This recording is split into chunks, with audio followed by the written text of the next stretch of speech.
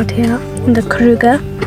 and we're going to be doing a very, very, very long drive. Going to be probably overnight, and we're only to get to um, the camp spot in a couple of hours. And yeah, we're having fun. We saw lots of animals. We saw some giraffe. Saw an elephant. We saw some buck. We saw a buffalo. Yeah, lots of things. Having fun. Okay, so um, we're going to be doing lots of other things. Um, I hope we.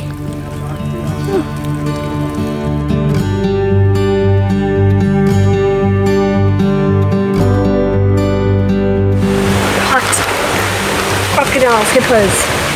Yeah. As you can see there. Yeah, yeah. Hippos, hippos, yeah.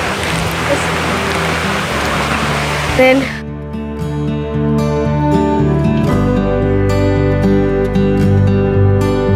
beautiful day, very hot though. Um, I love the Kruger National Park. Haven't seen any um, lions and crocodiles yet, so we'll see them maybe tomorrow or later. Are they okay? Beautiful. When you walk the four days backpack, you get hot, you drop your backpack, you jump in a river quick. Wat